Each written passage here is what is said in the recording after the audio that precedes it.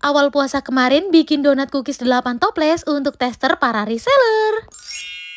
By the way, aku jualan donat cookies itu dari tahun 2018 dan tahun ini tuh tahun kelima aku bikin donat cookies. Dan seperti biasa sebelum aku open PO, aku selalu bikin tester untuk para reseller biar mereka tuh jualannya lebih mudah, geng. Nah, bahan yang tadi aku udah tulis semua, ini langsung aku mau mixer aja karena biar lebih cepet dan lebih mudah, gengs. Nah, di sini aku mau mixernya pakai standing mixer MX700 dari Mito. Aku beli dari tahun lalu dan sekarang tuh masih cakep banget, gengs. Kapasitas bowlnya tuh sampai 7 liter. Bowlnya terbuat dari bahan stainless steel. Ada 6 pengaturan kecepatan powerful motor, dan dilengkapi dengan tiga tuas pengaduk. Sambil nunggu adonannya tercampur rata, aku udah siapin keju parut 150 gram. Keju parutnya tinggal dituang aja saat adonannya masih setengah kalis. Nah, kalau udah diaduk kembali sampai semua adonannya tercampur rata. Ini adonannya udah siap banget untuk dicetak. Sebelumnya cetakan kuenya ini aku mau rendam dengan tepung dulu biar nanti nggak terlalu lengket di adonan. By the way, untuk cetakan kuenya ini aku selalu ganti tiap tahunnya ya, gengs. Adonannya mau aku cetak separuhnya dulu. Jangan lupa meja kerjanya ditaburi tepung dulu biar nggak terlalu lengket, gengs. Gilas adonan sampai tebalnya rata. Nah, kalau udah rata kayak gini bisa langsung dicetak dengan cetakan yang udah kita rendam dengan tepung terigu tadi. Cetakannya sambil ditekan. Nah, ini udah jadi, gengs. Ini langsung aku mau pindahin ke dalam loyang yang sebelumnya udah aku taburi dengan tepung. Udah selesai aku taruh di dalam loyang. Ini lanjut aku mau lubangin bagian tengahnya dengan sedotan boba. Kurang lebih seperti ini ya, gengs. Ini lumayan harus teliti supaya lubangnya itu pas di tengah. Kalau udah dilubangin semua, ini udah siap banget kita panggang dengan oven. Oven yang aku pakai ini oven Mito Fantasi MO888 dari Mito. Kapasitas Kapasitasnya 33 liter, dilengkapi dengan api atas bawah. Selain bisa memanggang kue dan bolu, ini juga bisa memanggang ayam yang memutar loh, geng. Selain ini low watt, kalian juga dapat aksesoris yang lumayan banyak. Aku panggang dengan api atas bawah 170 derajat selama 30 menit. Ini udah selesai dipanggang, lanjut aku mau bikin toppingnya dulu. Di sini aku toppingnya pakai coklat warna pink dulu ya, guys. Ini aku tim dengan cara seperti ini. Kalau udah meleleh seperti ini, langsung aja kita celupkan kue kering yang udah kita buat tadi dengan cara seperti ini.